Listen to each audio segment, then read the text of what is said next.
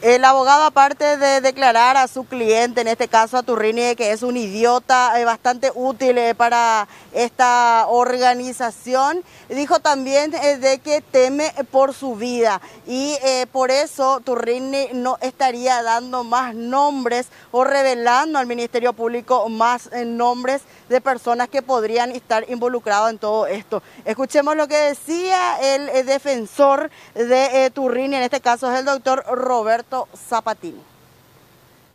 Hablando mal y rápido, era el idiota útil, era el idiota útil.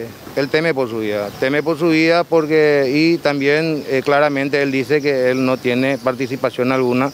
Yo particularmente no sé si él va a dar más nombre o se va a cargar solo. Él particularmente mantiene y sostiene de que él eh, se dedicaba a, copiar eh, bolsas de carbón de distintas empresas y él se encargaba a través de su empresa de enviar, eh, de enviar el carbón a, Europa, ¿verdad?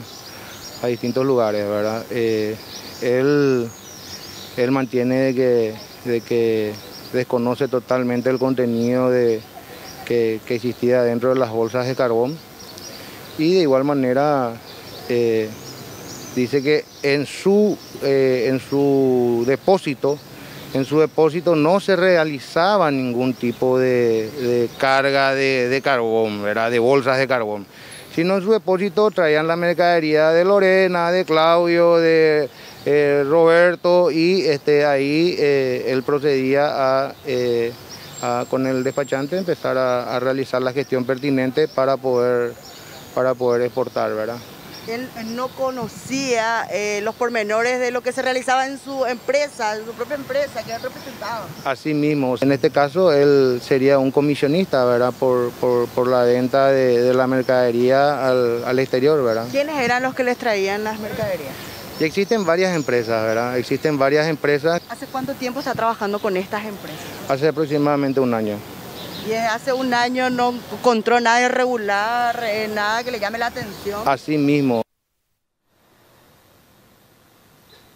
La fiscalía eh, dijo eh, también el abogado defensor de Cristian Turrini de que todavía no libró imputación, de que como siguen en el procedimiento les pidió una prórroga. Él estaba convocado esta mañana en el Ministerio Público, pero finalmente no le, le atendieron, le pospusieron esta audiencia ante el fiscal, o la fiscal en este caso.